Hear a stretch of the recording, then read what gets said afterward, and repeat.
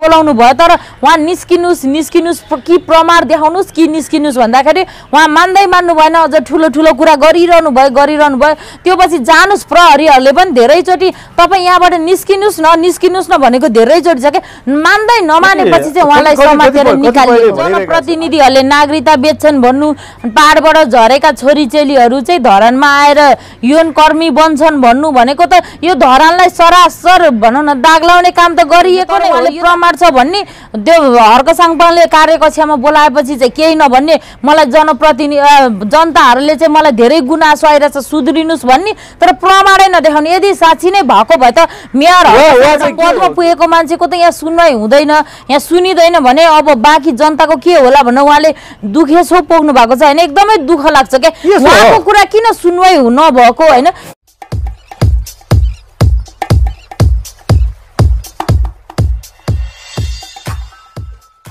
दर्शक पनि यतिखेर फ्रेममा हुनुहुन्छ कलाकार एवं सञ्चारकर्मी सविता भट्टराई। यानि लडेदायक टुल्की र गृहमन्त्रीको गृहमन्त्री हुनुहुन्छ। र हामी कुरा गर्न चाहन्छौँ यतिखेर हामी धरानतर्फ जान चाहन्छौँ। धरानमा मेयर हर्क साङमाथि एकजना पत्रकार भनिने एकजना महिलाले उद्यम मचाइरहेकी छन् यतिखेर ताकि उनीमाथि धेरै आरोप लागेको छ र उनीमाथि चाहिँ नागरिकता चाहिँ सिफारिसका कुरा मात्र नभएर यतिखेर धरानवासीलाई अर्को एउटा आरोप लागिरहेको छ महिला दिदीबहिनीमाथि पाहाडबाट झरेका महिला दिदीबहिनीहरू धरानमा यौन काम गर्छन् भनेर पनि आरोप लगाइरहेको छन् भनेदेखि विभिन्न किसिमका छ। त्यसतर्फ यतिखेर अहिले धरान त्यही महिलाले तताइरहेकी छिन्। जुन महिलाको बारेमा यतिखेर सविता भट्टराईसँग केही कुरा जोड्न चाहन्छु। सविताजी। हजुर। धरानको कुरा हेर्नु भएको छ। हजुर। होइन? हजुर। यो कुरा सरसत हेर्दाखेरि अहिले यतिखेर अर्को एउटा गुनासो आइरहेको छ कि यही प्रसङ्गमा मेरो हर्क साङपाङले उजुरी लिएर गएका थिए र उजुरी दर्ता भएन। सिडिओ सिडिओ कार्यालयमा चाहिँ पुगेर पनि उजुरी दर्ता भएन र यो गृह मन्त्रालयबाट अझ फोन पनि आयो रे भन्ने खालको पनि हल्ला चलिरहेको छ। यो कुरा सत्य हो। सर्वप्रथम त धन्यवाद हरि सर होइन? पहिलो सुरुमा चाहिँ म के भन्न चाहन्छु भने आज हाम्रो गृहमन्त्री भाग पाँच चाहिँ साइराम डिजिटलबाट आउँदैछ। गृहमन्त्रीलाई चाहिँ सबैले मन पराउनु भएको छ माया गरिदिनु भएको छ अझै हेरिदिनु होला साइराम डिजिटलबाट आउँदैछ आज पनि छ बजे होइन? अब लट्टेदाई चाहिँ विविध कारणले गर्दा एक्काइस भागमा रोक्नु परेको छ। अझ हामी मल्लिका द लेडी किलर भन्ने फिल्म बनाउँदैछौँ त्यो पनि हजुरहरूलाई जानकारी गराउँ होइन? तारादेवी घिमिरे र मेरो चाहिँ प्रोडक्सन तास प्रोडक्सनबाट चाहिँ बन्न लागेको मल्लिका द लेडी किलर चाहिँ बन्दैछ हजुरहरूले। त्यो पनि भनौँ न अब आउँदैछ त्यसलाई पनि अहिलेदेखि नाम भन्दै गएपछि दर्शकहरूको माझमा पनि। हजुर छिर्छ। होइन त्यो भन्न चाहन्छु अब हरि उदासी सरको लेखन निर्देशन। तर लेखन चाहिँ तारादेवी पटकथा सङ्गीत। गीत सङ्गीत। हजुर त्यो हुँदैछ त्यो पनि हेरिदिनु होला। र रह्यो कुरा धरानको होइन। अब त्यो कुरा त जुन चाहिँ तपाईँले भन्नुभयो नि गृह मन्त्रालयबाट फोन आयो भन्ने कुरा चाहिँ त्यो अरूले बोलेको होइन मेयर हर्क साङपाङले नै बोल्नु भएको जब होइन उहाँ सन्जिता धमलालाई चाहिँ त्यो कार्यकक्षाबाट निकालियो। उहाँले चाहिँ पत्र पनि पठाउनु भएको रहेछ सिडिओले बुझ्न मान्नु भएन छ। लगत्तै फोन पनि आयो भनेर चाहिँ मेयर हर्क साङपाङले नै बोलेको कुरा हो नि यिनी यिनीहरू चाहिँ होइन? अब के कसो हो? हजुर। एउटा कुरो के फ्याटो सोधेँ भनेदेखि अब मेरो हर्क साङपा आफैले बोल्नु भएको कुरो हो होइन त? हजुर। अब एउटा भन्छु। मेरो हर्क साङपा भनेको स्थानीय सरकार। हजुर। होइन उहाँ त स्थानीय स्थानीय त राजा नै हो। एकदम। होइन? उहाँको स्थानीय सरकार जस्तो व्यक्तित्वको कुरा पनि सिडिओमा सुनवाई हुँदैन यस्तो उहाँले? पत्र बुझाउनु भएको रहेछ होइन तर त्यो पत्र पनि सिडिओले बुझ्न नमानेपछि उहाँले नै भन्नुभएको छ म यो धरानको मेयर जस्तो भएर मैले यही सोध्न चाहेँ हजुर। जस्तो धरान एउटा स्थानीय सरकार धरानको मेयर जस्तो व्यक्तित्वको पनि एउटा पत्रको चाहिँ एउटा सुनवाई हुँदैन। बुझिँदैन भने तपाईँ हामी जस्ता आम नागरिक। अझ हामी त अझ अझ मान्छेले चिन्छन् दर्शकले चिन्छन् अहिले पब्लिकले चिन्छ हामीलाई।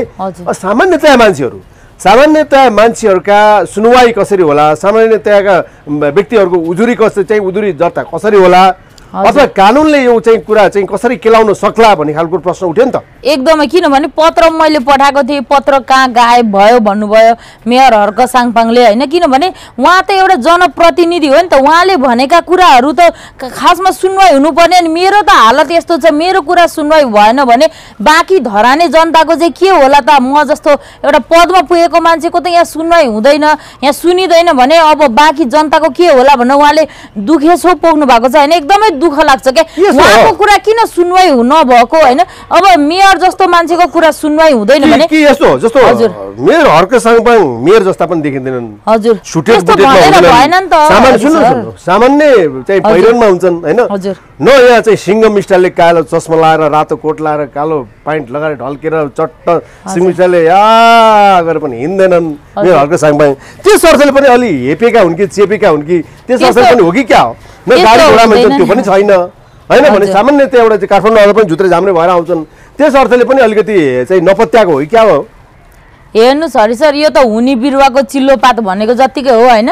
गाडी घोडामा हिँड्ने भनेको त अरू अरू जनप्रतिनिधिको काम हो जसले चाहिँ जनताका लागि होइन कि आफ्नै लागि त्यो पदमा पुगेका हुन्छन्। उनीहरूलाई जनताको दुःख के मतलब भने यहाँ त हर्क साङपाङको कुरा कतिसम्म जायज छ भने उहाँले त प्रमाण ल्याउनुहोस् भन्नुभएको रहेछ। उहाँले बकाइदा मि भनौँ न एउटा कार्यक्रममा सन्जिता धमलाले होइन जनप्रतिनिधिहरूले नागरिकता बेच्छन्। सचिनु होला भन्न ठु- अब ठाडो चेतावनी दिएपछि त उहाँ हर्क साङपाङ त त्यो जनप्रतिनिधि हुनुभयो उहाँलाई अधिकार पनि नहुने। होला नि हजुर। जस्तो सविता भट्टराईले नागरिकता लिनको लागि हजुर। त्यो अ, नागरिकता बेच्नुपर्छ सविता भट्टराईले पर्दैन। एकदमै नागरिकता भन्ने कुरा हरिसर म भन्दै थिएँ। नागरिकता त यो देशको नागरिक भइसकेपछि नागरिकता भन्ने कुरा वंशजको आधारमा किन्नु पर्ला त। पर्दैन। एकदमै। नपर्ने कुराहरू होइन। हेर्नुहोस् न हरिसर त्यो भन्दा पनि त्यो किन्नु र नकिन्नु भन्दा पनि हर्क साङपाङले के भन्नुभएको छ भने यदि को जनप्रतिनिधिले बेच्यो त त्यो नागरिकता कस कसले चाहिँ गर्यो त त्यो प्रमाण देखाउनुहोस्। उहाँले जहिले पनि I have proof I have proof भन्दै हिँड्नु हुँदो रहेछ। तर प्रुफ देखाउनु न त मलाई भन्दाखेरि म तपाईँलाई किन देखाउने? सिडिओमा देखाउँछु भनेर मैले प्रुफ भनेर भनेको होइन कि? बाँकी जनताले भने जनताले आरोप लायो भनेर बिना प्रमाणको यस्तो ठुलो ठुलो आरोप लाएर त त्यो त धरानको पुरै बदनाम गरिएको कुरा भनेपछि धेरै छ उहाँले। धेरै प्रमाण छ भन्नुभयो उहाँले होइन? आई हेभ मेनी प्रुफ उहाँले त्यो भन्नुभयो प्रुफ छ भन्नुभयो तर म यहाँ किन देखाउने मेयरलाई त किन देखाउनु म सिडिओमा देखाउँछु भन्नुको अर्थ चाहिँ के हो उहाँ कहाँबाट सञ्चालित हो भन्ने कुरा नै थाहा भएन क्या अब हजुर। यहाँ कस्तो किन मिलेको उहाँले भन्दाखेरि हजुर, सिडिओ प्रुफ देखाउँछु भन्नु तोकेरै हजुर। भन्नु भएको छ हजुर। सिडिओमा अब त्यो पत्र। दर्ता भएन होइन। अथवा त्यो कुरो चाहिँ खास के होला त अब कुरो के होला भन्दाखेरि त यहाँ काहीँ न काहीँ घुसपेटिया छ काहीँ न काहीँ केही त छ। होइन दालमै कुच कालाए भन्छ नि त्यो छ भन्ने कुरा त हन्ड्रेड पर्सेन्ट प्रुफ भइसक्यो त। त्यत्तिकै त्यो मेयर हर्क साम्पाङ कराउनु भएको होइन होला नि एउटा महिला अराजक ढङ्गले जानु भएको छ प्रश्न सोद्धाखेरि उहाँले प्रमाण देखाएको भए त जसले बेच्यो जसले त्यो कुकृत्य गर्यो त्यो त सो त कारबाहीको भागीदार हुन्थ्यो होइन? कारबाही हुन्थ्यो होला जो जनप्रतिनिधिले हजुर। हजुर। नागरिकता बेच्ने र बिक्री वितरणका कुरा गैर नेपाली। जो। चाहिँ चाहिँ गैर नेपाली हुन्छ नि। त्यो गैर नेपालीमा हामीले यता कता सुनेका हुन्छौँ कहिलेकाहीँ। सुनेका हुन्छ। कतिपयको डबल नागरिकता पनि प्रकरणहरू आएका हुन्छ नि। अब कतिपय फ्रडियाहरूको डबल नागरिकता होला कोही सिडिओले बेचे होलान् कोही के गरे होलान् त्यो कुराहरूको त प्रमाण ल्याउनु पर्यो नि। कतिपयको डबल नागरिकता पनि हुन्छ। नाम दुई थरी भएको डबल नागरिकता भएको पनि मान्छेहरूको हामीले त धेरै कुरा सुनेका छौँ होइन? त्यो कुरा धेरै नौलो कुरा पनि होइन तर उहाँले प्रमाण छ भन्ने त्यो हर्क साङपाङले कार्यकक्षामा बोलाएपछि चाहिँ केही नभन्ने मलाई जनप्रतिनिधि अ, जनताहरूले चाहिँ मलाई धेरै गुनासो आइरहेछ सुध्रिनुहोस् भन्ने तर प्रमाणै नदेखाउने। यदि साँच्ची नै भएको भए त मेयर उहाँ हर्क उहाँ चाहिँ साङपाङ- के हो? जो धमलाजी हुनुहुन्छ उहाँ पत्रकार। उहाँ पत्रकार रे। अनि पूर्वमा धरानमा धमलाजी मात्रै हो गुनासो पोख्ने पत्रकार अरू कोही भेटिने अब त्यो चाहिँ थाहा छैन के हो? अब उहाँ पत्रकार भनेर नेपाल टेलिभिजन छ त्यहाँ। हजुर। होइन नेपाल टेलिभिजनको हुनै छ अनि त्यसमा विभिन्न प- चाहिँ जस्तो चाहिँ कान्तिपुर होला नागरिक। होला होइन? अथवा त्यहाँ चलेकै टेलिभिजनहरू पनि छन् होइन? मकालु टिभी पनि छ त्यहाँ। अर्को कृति टिभी भन्ने पनि मैले सुनेको थिएँ। होइन? त्यहाँ थुप्रै टेलिभिजन छ भनेपछि धमलाजी नै माथि चाहिँ गुनासो पोख्ने चाहिँ जनता चाहिँ अचम्म लाग्दैन। अब त्यो चाहिँ उहाँको नाम चाहिँ मैले पहिलोचोटि सुने किनभने जब त्यो कार्यकक्षाबाट घिसार्दै गरेको भिडियो भाइरल भयो त्यो पछि मैले बल्ल हेरेको थिएँ होइन? यो को भनेर नाउगाडीको चिन्नुभयो? इन्टरभ्यूमा अनि उहाँ पत्रकार हुनुहुँदो रहेछ त्यो कुरा मलाई थाहा थिएन। अनि उहाँले एउटा चाहिँ पाहाडबाट झरेका छोरी चेलीहरू चाहिँ धरानमा आएर बेसिया वृद्धिमा लागेका छन् पनि भन्नुभएको छ। यस्ता यस्ता कुराहरू गर्नु एउटा बरा बरा पवित्र धाम छ। बराज क्षेत्र त्यहीँ त। छ एकदम रमणीय स्थल त्यहीँ। छ होइन एउटा पुण्य भूमि जुन। धरान भनेर हामीले भनिरहेका छौँ होइन। त्यसमा चाहिँ एउटा पवित्र स्थललाई चाहिँ एउटा चाहिँ दाग। दाग लाउने काम नै गरिएको। जान जानै किनभने यहाँ जनप्रतिनिधिहरूले नागरिकता बेच्छन् भन्नु पाहाडबाट झरेका छोरीचेलीहरू चाहिँ धरानमा आएर यौन कर्मी बन्छन् भन्नु भनेको त यो धरानलाई सरासर भनौँ न दाग लाउने काम त गरिएको नै हो यो त आरोप किनभने महिला भयो भन्दामा जे आरोप लाउन नि पाइन्छ जे भन्दा नि पाइन्छ अब भनौँ निस्किनुहोस् त्यही? हजुर? सुन्नुहोस् पुरुष भएको अहिले जेल त्यही ठाउँमा। कुनै पुरुषले कुनै। पुरुषले पाहाडबाट झरेका झरेका महिलाहरू। धरानमा आएर चाहिँ यौन व्यवसाय गर्छन् भनेर कुनै पुरुषले। बोलेको भए के हुन्थ्यो ल भन्नुहोस्। यहाँ अहिले साइबर क्राइममा चाहिँ छिर्थ्यो होला अरू केही नभए पनि त्यो पुरुषलाई त ऊ छैन तर महिला भएकै कारणले धेरै छुटहरू पाएका छन् कि त्यहाँ चाहिँ के छ भने निस्किनुहोस् निस्किनुहोस् भनिरहेको छन् कि पहिला प्रहरीहरूले तपाईँ निस्किनुहोस् यो कार्यकक्षाबाट भन्दा भन्दा भन्दा उहाँले नमानिकन लास्टमा चाहिँ घिसारिएको लास्टमा त अब जाँदै नमानेपछि त के गर्नु होइन? त्यो गरिएको छ त्यहाँ चाहिँ अभद्र व्यवहार गरियो भनेको छ सु अब फर्स्टमै भनौँ न आएर घिसारेको भयो अलग कुरा। तपाईँ निस्किनु न यो कार्यकक्षबाट भनेर धेरैचोटि रिक्वेस्ट गर्दा गर्दा गर्दा नमानेपछि चाहिँ धमलालाई त्यहाँबाट चाहिँ निकालिएको हो। अब एउटा मेयर जस्तोको कार्यकक्षभित्र यहाँ त कुनै वडा अध्यक्षको होइन कार्यकक्षभित्र छिर्न पनि त्यहाँ अनुमति लिएर अझ पत्र दिएर छिर्नुपर्छ।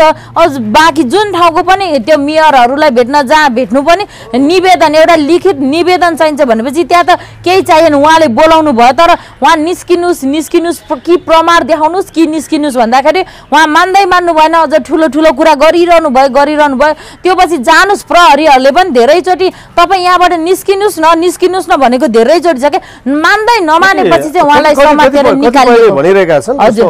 मेयर हर्क साङपाङ जनप्रतिनिधि मात्र प्रतिनिधि मात्र नभएर। उनी एउटा चर्चाको शिखरमा पुगेको एउटा व्यक्तित्व हुन् अथवा। भन्न पर्दाखेरि भाषा भन्नु पर्दाखेरि भाइरल भएको व्यक्तित्व भन्छन् होइन।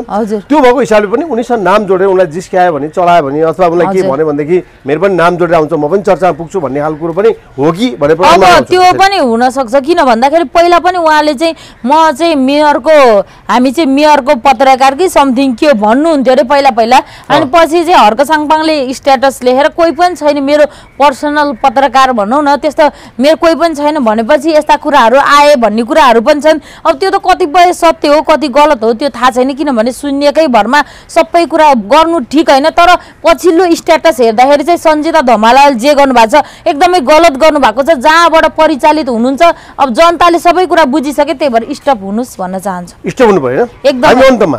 हजुर। अन्तमा जाँदा जाँदै अब जुन हजुर। चलचित्र मल्लिका द लेडी किलर। हजुर। अहिले गृहमन्त्री। हजुर। र अब लट्टे दाई एक्काइस भागमा जुन स्टप भएको छ लट्टे दाई फेरि आउने सम्भावना छ या छैन? अब लट्टे दाई भन्दा नि अरू टेली चलचित्र आउँछ होला अरे सर किन भन्दाखेरि लट्टे दाई दाई पूर्ण विराम हो। हजुर। नै हो? हजुर। भनेपछि लट्टे दाई पूर्ण विराममा छ। गृहमन्त्री अगाडि बढेको गृहमन्त्री। कहाँसम्म जान्छ? गृहमन्त्री चाहिँ बाहुन्न भागै जान्छ होला हरि सर होइन? गइरहन्छ निरन्तर हुन्छ। अनि मल्लिका द लेडी किलर चाहिँ अझ धमाकेदार भएर? आउँदैछ। अन्तिम अन्तिम तयारी हुँदैछ किनभने फ्लोरमा जानु अब त रेडी नै छौँ हरि सर होइन? सात गतेबाट गर्ने भन्ने कुरा छ। अब मौसमले साथ दिएको खण्डमा अब अन्तिम तयारी भइसक्यो हरि सर। अन्तमा जहाँ धरानतिर फर्किनु पर्दाखेरि अब त्यो धमलालाई के भन्ने र हर्क साङपालाई के भन्ने? दुईजनालाई म चाहिँ हर्क साङपाङलाई चाहिँ एकदमै डटेर लाग्नु होला किनभने उहाँ फेरि कोहीदेखि डराउने मान्छे पनि होइन। आफैलाई परेको कुरा आफै उहाँले भनिदिनुहुन्छ होइन किनभने उहाँले मनमा कुरा राखेर बसेर यो होला त्यो होला गर्ने। अब उहाँले भ्रष्टाचार गरेको उहाँले केही गरेको भए पो उहाँ डराउनु उहाँ डराउने खाले मान्छे नै होइन। तर धमलालाई चाहिँ डराउनुहोस् भन्न चाहन्छु किनभने धेरै छोरीचेली पनि उत्रिसक्नुभयो क्या उहाँको खिलाफ। उहाँले अत्याचार नै बोल्नु हुँदो रहेछ त्यो यौन कर्मी हुन्छन् नि होइन? पाहाडबाट झरेका छोरीचेली भन्ने अनि हर्क साङपाङलाई गएर त्यत्रो आरोप लाउने। किनभने त्यहाँ त सबैले मानेका जनप्रतिनिधि हुन् नि त। हर्क साङपाङ त्यो भएर धमलालाई कारबाही होस् भनेर नारी छोरीचेलीहरू त्यहाँ लागिरहनु भएको छ। प्रहरी चौकी पनि घेरेको देखेको थिएँ। यहाँ चाहिँ म चाहिँ के भन्न चाहन्छु भने मेयरको कुरा पनि सुनवाई होस्। धरानकोमा चाहिँ भन्न चाहन्छु। सिडिओ साहबलाई चाहिँ उहाँको। गिटार लिएर भरे दिक्क। पारे दिक्क पारे दिक्क पारे दिक्क पारे दिक्क पारे हैरान पारे हैरान पारे हैरान पारे। भन्ने गीत आउँछ कि? आउन सक्छ किनभने अत्याचारै गरिसक्यो नि त। आइसक्यो रे सर अब। हस् हस् हस् हस् थ्याङ्क यू सो मच हस्, हस् हस्। धन्यवाद। हस् धन्यवाद।